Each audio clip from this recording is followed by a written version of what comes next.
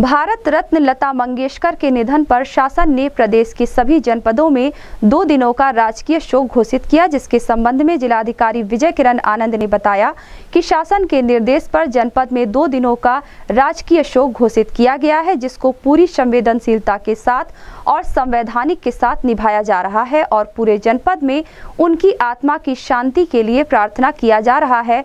जिसको देखते हुए जनपद के मुख्यालय पर लगा तिरंगा झंडा आधा दो दिनों तक झुका रहेगा।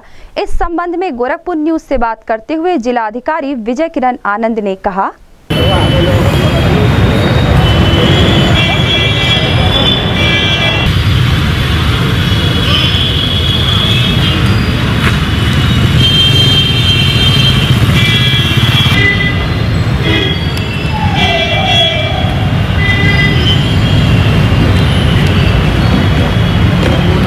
निर्देश के क्रम में। दो दिन का राज भारत रत्न लता मंगेशकर जी के निधन पर घोषित किया गया इसको हम लोग संवेदनशीलता के साथ और पूरे संवेदना के साथ आज निभा रहे हैं और पूरे जनपद में इस तरह उनके आत्मा की शांति के लिए और उनके लिए प्रार्थना करने की कवायद की जा रही है। सर ये भी कहा कि तिरंगा झुका रहेगा। ये पूरी कार्रवाई शासन के निर्देशों क्रम में किया जा रहा है।